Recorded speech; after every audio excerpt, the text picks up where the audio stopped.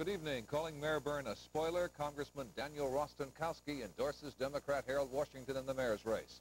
Chicago celebrates its annual Marching of the Green with all three mayoral contenders joining in the parade down Dearborn Street. Standard & Poor's drops Illinois' bond rating from a AAA to a AA+. The local EPA chief blasts his superiors in Washington for what he calls unethical practices. And Roy Leonard talks with Tom Selleck. We'll have these stories and more coming up on the news at 930.